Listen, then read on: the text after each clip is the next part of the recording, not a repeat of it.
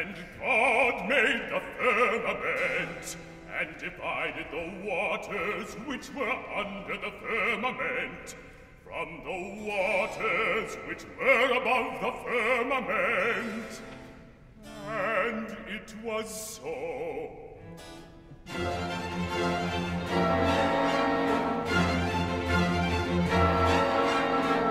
Outrageous storms now dreadful arose.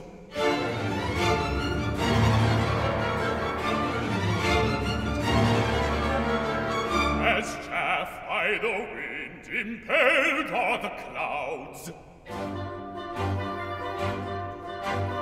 By heaven's fire the skies inflamed.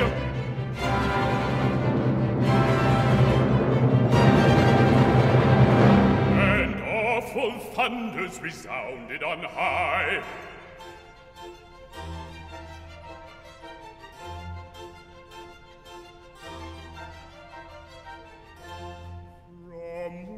waters rose at his command, the all-refreshing rain.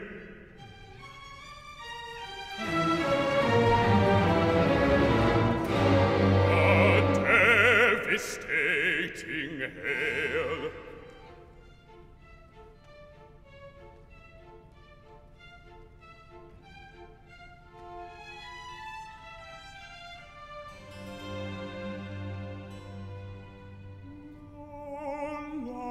and